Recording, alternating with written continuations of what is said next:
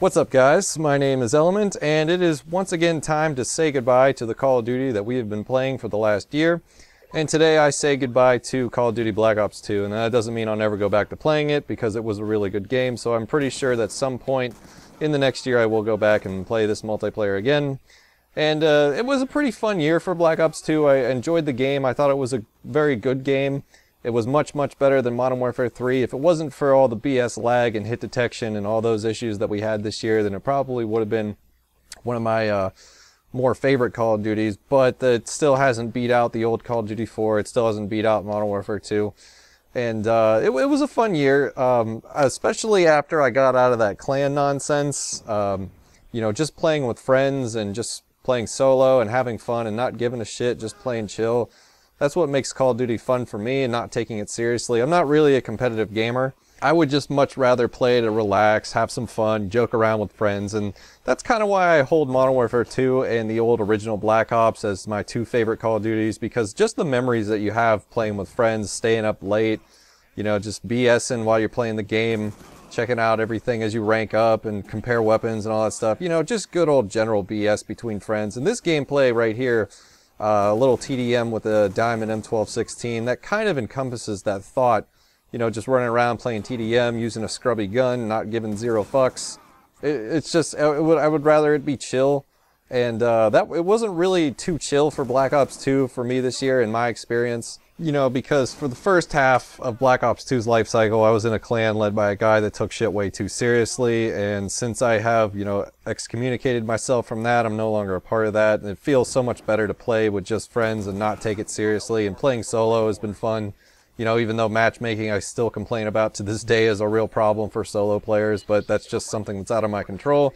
And it's kind of the same thing with lag and hit detection so lag, hit detection, and matchmaking are just things that are out of my control, and I shouldn't get mad at them, but I do anyway. But I know better.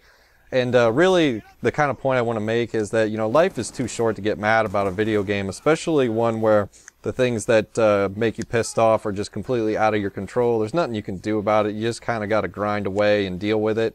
And I know it's gotten to the point where we're this far in the Call of Duty franchise that we should expect you know, these things to have been improved upon. And maybe we will. Maybe Call of Duty Ghosts will be that answer. Uh, but the problem really with the franchise now is that, you know, every new game gets measured against its predecessors, and that unfortunately is its own undoing. So, you know, you got to take everything for a grain of salt that other people say about the game. I know a lot of people got it early and they're all like, blah, blah, this sucks, blah, blah, I can't believe that. So, you know, just don't take it too seriously. Play chill. Just you know, hang out with your friends, do a little BSing, and it'll be a fun time. And I, I kind of hope that's what Call of Duty Ghosts is going to be for me this year. Uh, I would rather go back to the ways that we played on the original Black Ops and Modern Warfare 2, just chilling, not giving a fuck, you know, playing around, messing around. Who cares about winning, losing, stats, whatever? Just having a good old time, and that's what I want it to be. And uh, Black Ops 2 really wasn't that experience, but it was still overall a very, very good game. I Enjoyed the fact that Treyarch supported it a lot post-launch. We got some decent DLC out of it.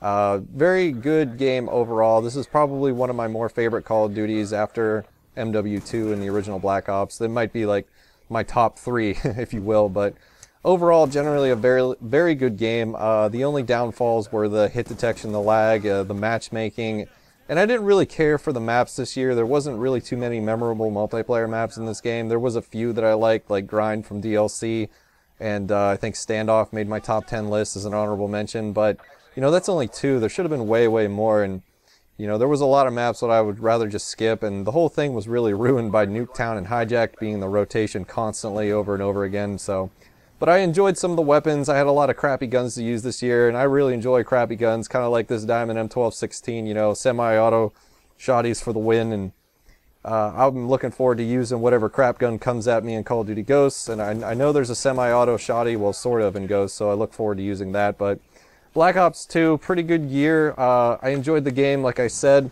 and uh, I'll definitely come back to this one. So it's uh, it's been a good game. I just finished the multiplayer campaign. Uh, I do that every year where I play the campaign right before the new one comes out, and it wasn't that memorable. It wasn't really that great, but I've never really played a campaign from COD that was awesome. So it's multiplayer for me, and uh, that's about it. So goodbye, Black Ops 2. Hello, Call of Duty Ghosts, and let's have a fun year. Peace out.